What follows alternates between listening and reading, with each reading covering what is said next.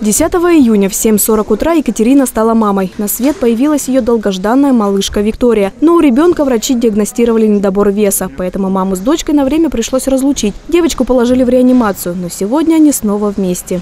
У меня слезы радости, слезы счастья на глазах, которые еле сдерживаю. Ну и дай бог, что все будет хорошо. Врачи, специалисты, все умнички, помогают, объясняют, все показывают. Ну и мне не страшно здесь оставаться, потому что всегда будут люди, которые мне будут помогать, подсказывать. И наша малышка будет под строгим контролем. Екатерина и маленькая Виктория – первые пациенты нового отделения родильного дома номер 3. Оно направлено исключительно на наблюдение и лечение малышей с врожденными пороками развития, маловесных, недоношенных деток и перенесших гемолитическую болезнь, то есть резус-конфликт, а также пациентов, получивших первичную помощь в отделении реанимации и интенсивной терапии новорожденных роддома, которые находятся в стабильном состоянии и нуждаются в продолжении лечения. Все это второй этап выхаживания малышей.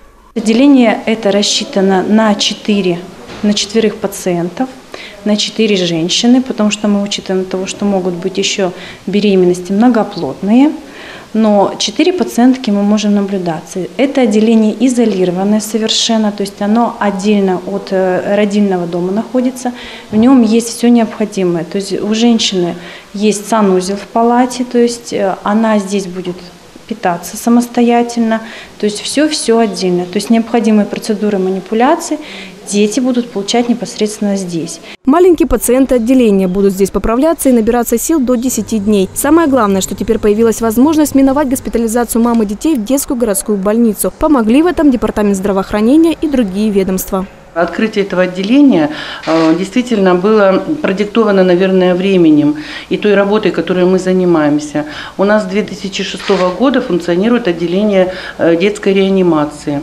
И мы, являясь учреждением третьего уровня, выхаживаем детей в детской реанимации, тяжелых, маловесных детей. А кроме того, с 1 января 2016 года э, департаментом, приказом Департамента здравоохранения мы занимаемся выхаживанием детей особенных, которые родились пороками развития плода.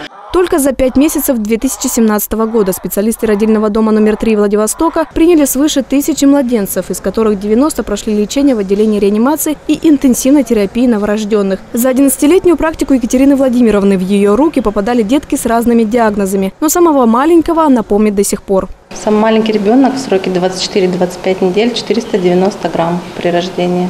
Что вы делали? Вот сколько, сколько вы его Все, что могли, то и делали. Все, что возможно было на тот момент, какое было оборудование, все делали. А сейчас с новыми возможностями врачи уверены, они смогут помочь набраться сил и здоровья еще многим малышам. Маленькая Виктория уже себя чувствует хорошо, активно набирает вес и улыбается маме. Я надеюсь, что ну, через недельку мы уже отправимся домой. Ну, я, конечно, не знаю, как все будет, но хотелось бы, потому что папочка нас ждет дома, очень хочет взять доченьку на руки. Алина Черненко, Дмитрий Сухоруков. Новости на восьмом.